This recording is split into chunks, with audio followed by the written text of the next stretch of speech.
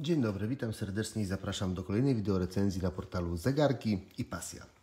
Oris to samodzielna i zarazem ceniona marka zegarmistrzowska. Firma, która oferuje dobrze wykonane, ciekawe zegarki w całkiem rozsądnych cenach.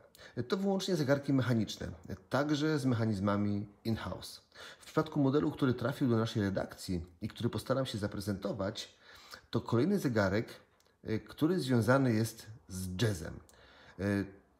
Dokładnie to hołd dla legendy jazzu Jamesa Morrisona. James Morrison jest w pewnym sensie żywą legendą, bo oczywiście y, nadal działa, nadal tworzy, nadal koncertuje.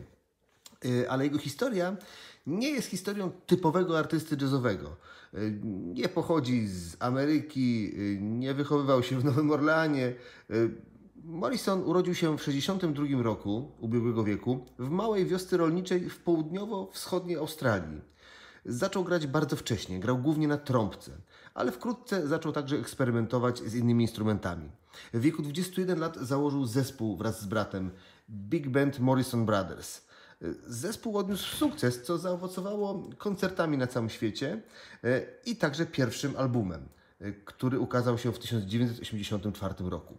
Od tego czasu pojawiło się już 21 albumów, a artysta wciąż tworzy, gra i koncertuje. E, a Oris jako marka już wielokrotnie udowodnił, że jest bardzo mocno związany z tym gatunkiem muzycznym. Jest bardzo związany z jazzem. Prezentowany dziś zegarek opiera się na modelu Oris Artelier. W edycji poświęconej Morrisonowi natychmiast przyciąga wzrok bardzo głęboko granatowa, lekko gradientowa tarcza ze szlifem słonecznym. Ma ona duże, nadrukowane cyfry arabskie w smukłym stylu z lat 50. XX wieku. I te cyfry są oczywiście indeksami godzinowymi. Odniesieniem jazzowym znajdującym się na tarczy jest niewątpliwie przeciwwaga sekundnika, która ma kształt uchwytu na palec w trąbce. Wskazówki godzinowa, minutowa i sekundowa są bardzo proste, wąskie i mają kolor zbliżony do miedzianego, taki jakiś odcień złocistego.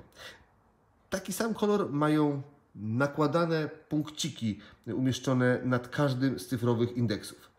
To dodaje moim zdaniem nobliwości tej obiektywnie bardzo pięknej, atrakcyjnej tarczy. Dodatkowym atutem jest to, że tarcza jest wypukła.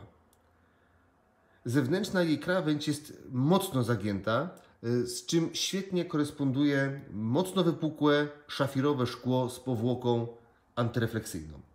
Zegarek nie ma datownika, y, co jest dość dobrym y, wyborem, biorąc pod uwagę jego elegancki styl.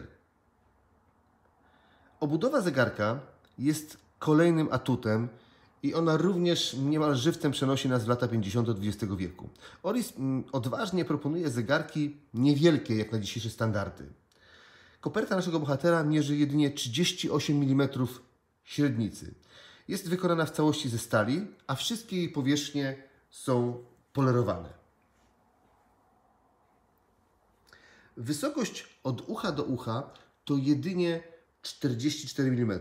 Grubość to nieco ponad 1 cm.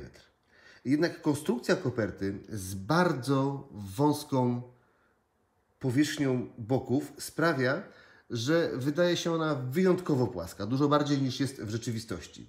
Właściwie to każda krawędź, każda linia koperty tego zegarka podkreśla jego wysublimowany i elegancki charakter. Wodoodporność do 30 metrów zapewnia podstawowy poziom bezpieczeństwa. Wkręcany dekiel zegarka jest pełny i ma wygrawerowane logo Academy of Music Morrisona, czyli trąbkę. Oczywiście na deklu znajdziemy także e, numer w limitowanej serii, a ta seria to 1234 zegarki. Na nadgarstku ten zegarek prezentuje się mniej więcej tak.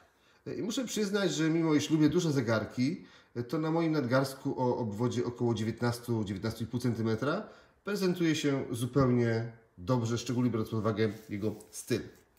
Matowy, czarny, skórzany pasek komponuje się dobrze z zegarkiem, a podwójnie składana klamra jest z jednej strony bardzo solidna, a z drugiej pod kątem elegancji bardzo pasuje do całości.